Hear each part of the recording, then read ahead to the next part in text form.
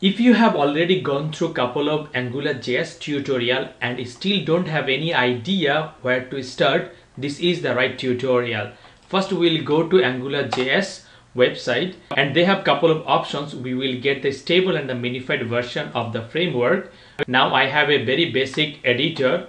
I will create the simplest HTML, close the HTML tag and we will get the reference of the script our source is angular angular.min.js we will close the script tag now you have to explicitly tell the html or the part of html to use angular and the way of telling it typing ng app you want to display the user's name and you have an input text box Angular is MVC. The simplest model is ng model. You can give it any name and I will give username.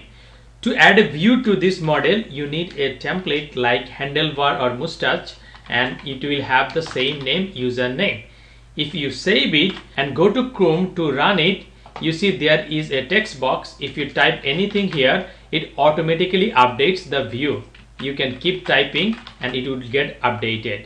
If we look into the code, you just have this input text box and a model Angular watch whatever the user inserts here and update anywhere in the view.